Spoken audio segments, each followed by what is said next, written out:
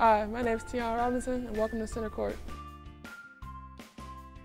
You might be surprised to find out that I used to be a mathlete in middle school.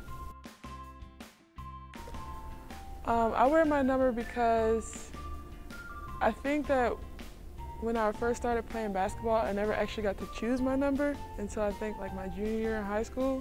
So once I picked my number, I kind of just stayed with it and owned it. So that's why I wear my number. If I had a catchphrase, I think it would be cool beans. I say cool beans a lot. when I was 10, I wanted to um, score movies, you know, like um, do like the music and stuff, you know, kind of like, I think like the music and movies like makes it, I don't know, better. It like kind of uh, sets like the tone for like the movie, so I, I always wanted to do that.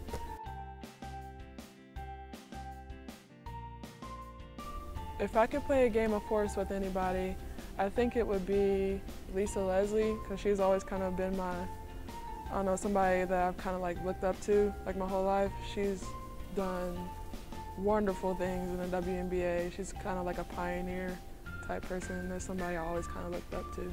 So thanks for hanging out at Center Court with me.